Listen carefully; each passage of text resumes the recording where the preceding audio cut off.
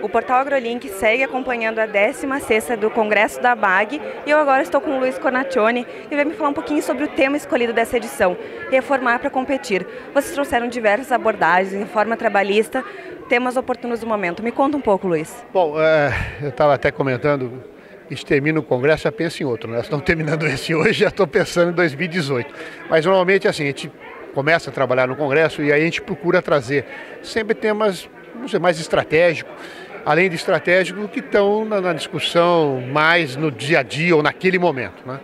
Quando a gente começou a pensar nesse congresso meio no final do ano passado, gente estava, já tinha acabado de ter uma mudança de governo né? uh, e as reformas estavam começando a avançar, uh, e avançaram, a trabalhista principalmente. Naquele momento também você tinha uma, uma mexida de geopolítica importante. Nós tínhamos, tinha recém acontecido a saída da Inglaterra do, da, da, União Europeia, né, do, no famoso Brexit. É, logo depois veio a eleição de Donald Trump nos Estados Unidos, quer dizer, pô, essa geopolítica global mudou também a coisa. Falou, bom, nós precisamos tratar um pouco disso, precisamos tratar um pouco da quais são as reformas, as mudanças, para a gente continuar competitivo. Né?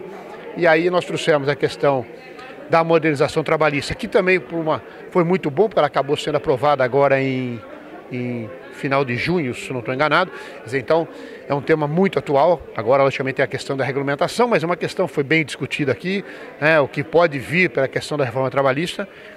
A reforma tributária precisa sair. Eu sempre volto nesse assunto, porque a carga tributária, não é só a carga tributária que é grande. Não, esse, assim, esse, esse, o sistema tributário é uma coisa de um controle absurdo, de uma insegurança maior ainda. Então, trabalhar para que a reforma tributária ande é importante. E o terceiro ponto é a questão da geopolítica. Assim, o Brasil vai indo muito bem, obrigado, produz muito bem, mas tem duas coisas que precisa ter para estar competitivo. Quer dizer, produzir é importante, acho que isso nós estamos fazendo de maneira excepcional, mas você precisa imaginar que você tem que ter regulação moderna, é o caso da trabalhista, da tributária que vem por aí, da previdenciária, essa coisa toda, e outras reformas que estão por aí.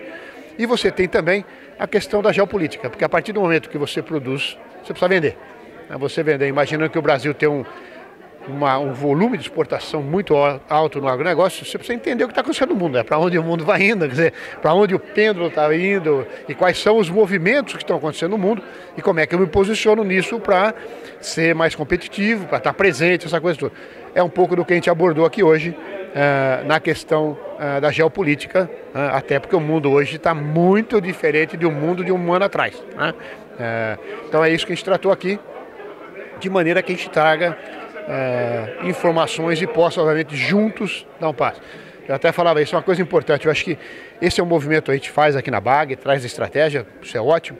Mas a gente sempre fala que a gente tem que fazer esse movimento, ter um movimento conjunto do setor, certo? Não adianta só a BAG fazer isso, a entidade A, a B, a C, a D, não faz, não. Isso tem que ser um movimento conjunto para que a gente tenha uma eficiência muito maior. O Caio, na abertura dele, tocou nesse ponto e a gente tem falado isso sempre. Eu acho que a gente precisa caminhar cada vez mais nesse negócio. Luiz, você falou de maneira bem otimista na questão de mudanças de um ano atrás. O Brasil, ele se vê um novo cenário entrando com essas mudanças que você falou agora? Eu acho que sim. É, é aquela história. A gente tem. Eu, eu, vejo duas coisas. A gente pode olhar de duas maneiras: o copo meio cheio e meio vazio. Ah, ah, se por um lado você tem ah, ah um governo transitório, uma série de problemas que tem, esses problemas políticos que estão aí, as operações Lava Jato, etc. Quer dizer, isso é ruim, quer dizer, você tem uma instabilidade política muito ruim, mas de alguma maneira ela está, graças a Deus, um pouco descolada da realidade econômica, tá certo? Então, o Brasil começou a recuperar um pouco, você tem visto isso, quer dizer, você tem um pequeno crescimento de PIB, você tem uma, uma já uma recuperação uh, importante na questão do, do emprego, ainda muito tímida, mas você tem, você tem uma inflação graças a Deus, despencando, taxa de juros despencando. Quer dizer, então o cenário econômico vai bem uh, e tomara que continue assim.